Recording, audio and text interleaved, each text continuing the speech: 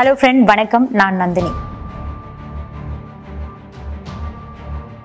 கர்நாடக சட்டசபை தேர்தலில் நடிகர் சுதீப் பாஜக முதல்வர் பசவராஜ் பொம்மைக்கு ஆதரவு கொடுத்திருக்காரு. இதை நடிகர் பிரகாஷ் ராஜ் விரும்பல.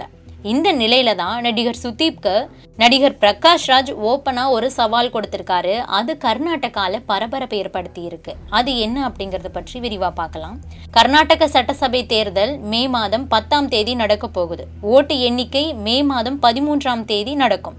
இந்த நிலையில தான் மீண்டும் ஆட்சியை தக்க வைக்கணும் அப்படிங்கிறதுக்காக பாஜக முயற்சி பண்ணிட்டு இருக்காங்க. அதே நேரத்தில் வரக்கூடிய தேர்தலில் வெற்றி பெற்று இழந்த ஆட்சியை மீட்டெடுக்க வேண்டும் அப்படிங்கிறதுக்காக காங்கிரசும் வியூகம் வகுத்துட்டு இருக்கு இதே மாதிரி முன்னாள் முதல்வர் ஹெச் டி குமாரசாமியோட ஜேடிஎஸ் மற்றும் அரவிந்த் கெஜ்ரிவாலோட ஆம் ஆத்மி கட்சிகளும் கூட தங்களுடைய செல்வாக்க நிரூபிக்கிறதுக்கு தயாராகிட்டு இருக்காங்க இதே மாதிரி இன்னும் பல கட்சிகள் தேர்தலில் வேட்பாளர்களை களமிறக்கி இருக்கு. இந்த நிலையில தான் கன்னட திரையுலகில் முன்னணி நடிகராக இருக்கக்கூடிய சுதீப் முதல்வர் பசவராஜ் பொம்மைக்கு ஆதரவு கொடுத்திருக்காரு. சுதீப் பாஜகவில் சேர இருக்கிறதா தகவல்கள் வெளியான நிலையில வரும் சட்டசபை தேர்தலில் முதல்வர் பசவராஜ் பொம்மைக்கு ஆதரவு கொடுத்திருக்காரு. இது தொடர்பா சுதீப் பசவராஜ் பொம்மையோடு பத்திரிகையாளர்களை சந்தித்து பேசினார். அப்போது அவர் என்ன சொன்னாருன்னா வரும் சட்டசபை தேர்தலில் என்னுடைய ஆதரவை முதல்வர் பசவராஜ் பொம்மைக்கு வழங்க இருக்கிறேன். அவர் மீது கொண்டிருக்கிற மரியாதை காரணமா அவரை மாமா என்ற உறவு முறை கூறி அழைத்து வருகிறேன். என்னுடைய கஷ்டமான காலங்கள்ல அவர் எனக்கு உதவி பண்ணியிருக்காரு. இதனால் நன்றி மற்றும் மரியாதைக்காக அவருக்கு ஆதரவு தெரிவிக்கிறேன். சட்டசபை தேர்தலில் பசவராஜ் பொம்மை மற்றும் அவருடைய ஆதரவு கோரக்கூடிய பாஜக வேட்பாளர்களுக்கு ஆதரவா பிரச்சாரம் செய்ய போறேன். நான் பாஜகவில் இணையவில்லை. சட்டசபை தேர்தலிலும் போட்டியிடல.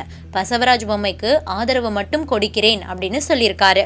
இந்த நிலையில கன்னட திரையுலகில் முன்னணியில் இருக்கக்கூடிய ஒரு நடிகர் இந்த மாதிரி செய்திருக்கிறத விரும்பவில்லை அப்படின்னு சொல்லியிருக்காரு நடிகர் பிரகாஷ் ராஜ் இது தொடர்பா தன்னுடைய ட்விட்டர் பக்கத்துல கோபமா தன்னுடைய கருத்தை பதிவிட்டிருக்காரு. அனைவராலும் விரும்பப்படும் கலைஞனாக மக்களின் குரலாக நீங்கள் இருப்பீர்கள் என நான் எதிர்பார்த்தேன்.